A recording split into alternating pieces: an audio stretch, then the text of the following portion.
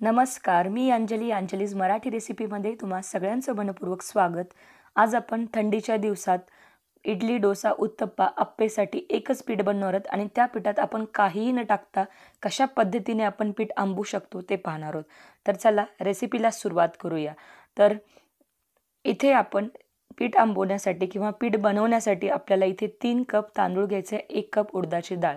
तर हा perfect ratio असतो कुठल्याही साऊथ इंडियन डिशसाठी तर इथे आपण या पिठापासून इडली बनवू शकतो डोसा बनवू शकतो उत्तप्पा बनवू शकतो. अदरवाईज अजून कुठला साऊथ इंडियन डिश असेल तोही आपण यापासून बनवू शकतो. तर इथे बघा हे परफेक्ट आहे एक कप डाळ आणि तीन कप तांदूळ. तर आता आपल्याला हे जे डाळ आणि तांदूळ आहेत एका बाऊलमध्ये टाकायचे आहेत.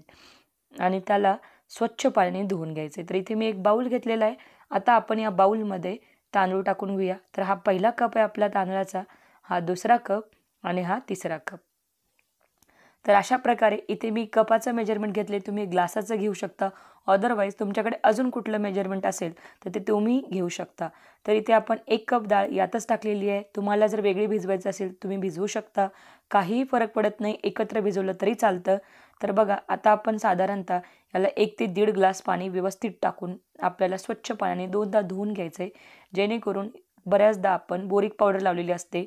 डाळीला किंवा तांदळाला खराब होऊ नये म्हणून तर ती व्यवस्थित निघून जावी आणि अगदी डाळ तांदूळ स्वच्छ व्हावेत यासाठी आपल्याला हे व्यवस्थित हे बघा अशा प्रकारे यात स्टार्च पण असतं तांदळामध्ये त्यामुळं व्यवस्थित धुवून घ्यायचं आणि मग यात साधारणतः एक ते दीड ग्लास मोठ्या ग्लासाने पाणी टाकून याला झाकण लावून आपल्याला पाच ते सहा तास मिनिमम आपल्याला हे भिजवायचं आहे तर डाळ तांदूळ कमीत कमी पाच ते सहा तास भिजवले पाहिजेत. अदरवाईज तुम्ही सात ते आठ तास पण भिजवू शकता.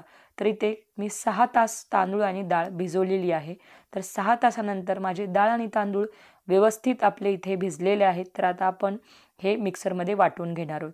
तर लक्षात ठेवा जेव्हा तुम्ही साऊथ इंडियन डिश बनवता त्यासाठी कुठलेही वेगळे वेगळे आपल्याला पीठ बनवण्याची गरज नाही आहे तुम्ही जर या पद्धतीने पीठ बनवला तर यापासून तुम्ही इडली डोसा उत्तप्पा अप्पे हे सगळे पदार्थ इझिली बनवू शकता आणि हे पीठ तुम्ही मिनिमम आठवडाभर फ्रीजमध्ये ठेवून खाऊ शकता. काही होत नाही आंबट वाससुद्धा येत नाही. कारण आपण यात काही ॲड करत नाही. बऱ्याचदा पीठ आंबण्यासाठी थंडीच्या दिवसामध्ये कांदा टाकला जातो. अदरवाईज थोडंसं तेल टाकलं जातं किंवा मीठ ॲड करतात. बरेच लोक बेकिंग सोडा बेकिंग पावडर टाकतात. पण या सगळ्या गोष्टी आपल्याला न टाकतासुद्धा पीठ व्यवस्थित आंबवता येतं. तर फक्त महत्त्वाची टिपमध्ये म्हणजे पीठ ज्यावेळेस आपण दळण करतो किंवा अशा प्रकारे ग्राइंड करतो त्यावेळेस खूप जास्त भरड पण काढायची नाही आणि खूप जास्त स्मूथही करायचं नाही. म्हणजे अगदीच प्युरी केल्यासारखं सुद्धा करायचं नाही. तर एकदम थोडंसं मध्यम कन्सिस्टन्सीवर आपल्याला हे पीठ करायचं आहे म्हणजे जशी आपली बारीक रव्याची कन्सिस्टन्सी असते त्या कन्सिस्टन्सीचं तुम्हाला इथे पीठ तळून घ्यायचं आहे म्हणजे या पिठापासून तुम्ही अगदी छान छान कडक दोशेसुद्धा बनवू शकता. तर व्यवस्थित फुगलं ना पीठ की मग सगळे साऊथ इंडियन डिश तुम्हाला बनवता येतील. तर अशा प्रकारे एक दोन ते तीन मिनटांत चेक करायचं. अजून जर व्यवस्थित ते दळलं गेलं नसेल किंवा ग्राइंड झालं नसेल तर परत एकदा मिक्सरमध्ये फिरून घ्यायचं आणि इथे परफेक्टली आपलं पीठ इथे तयार आहे. तर एका बाऊलमध्ये मी हे पीठ काढून घेणार आहे. तर बघा खूप जास्त पातळी नाही आहे आणि खूप जास्त घट्टही नसेल तर अशा प्रकारेच आपल्याला हे पीठ दळून घ्यायचं. तर मी दुसऱ्या पद्धत म्हणजे दुसऱ्या वेळेसही याच पद्धतीने पीठ दळून घेणार आहे. तर तुम्ही थंडीच्या दिवसामध्ये कशा प्रकारे पीठ आंबू शकता काही न टाकता. तर हे पीठ मी एका मायक्रोवेवमध्ये एक साधारणतः मायक्रो पाच ते दहा मिनटासाठी प्रीहीट केला होता. त्यानंतर हा कंटेनरमध्ये झाकण लावून किंवा एखादी लीड किंवा एखादी प्लेट ठेवून मी ठेवला होता. दहा ते बारा तासानंतर आपलं हे पीठ फुगलं गेलेलं आहे. तर यात मी काहीही ॲड केलेलं नव्हतं. कांदा तेल किंवा मीठ किंवा बेकिंग सोडा काहीही नाही टाकलेलं. तर बघा अशा प्रकारे इथं मी पीठ दळून घेतलेलं आहे. आणि आता आपल्याला या पिठात काहीही ॲड करायचं नाही आहे जस्ट आपल्याला याचं झाकण किंवा एखादी प्लेट लीड काही असू द्या ते लावायचं आहे आणि गरम जागी ठेवायचं आहे तर हे पीठ मी मायक्रोवेवमध्ये पाच ते सात मिनटासाठी प्रीहीट करून ठेवलेलं होतं आणि सकाळी माझं पीठ व्यवस्थित फुगलं गेलेलं आहे. काही न टाकता अतिशय छान अतिशय सुंदर असं आपलं पीठ आंबलं गेलेलं आहे.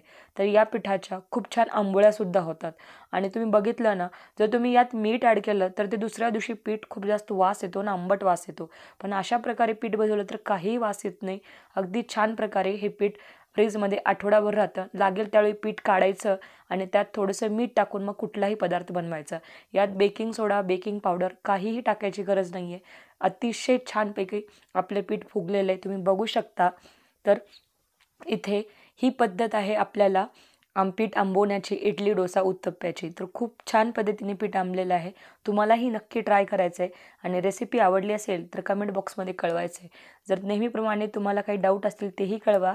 आणि जर तुम्हाला रेसिपी आवडली असेल तर लाईक करा शेअर करा. चॅनलला सबस्क्राईब करायला बिलकुल विसरायचं नाही आहे सोबतच जे घंटीचं आयकॉन आहे त्यालाही क्लिक करायचं आहे तर पिना भेटूया अशाच एका नवीन रेसिपीसोबत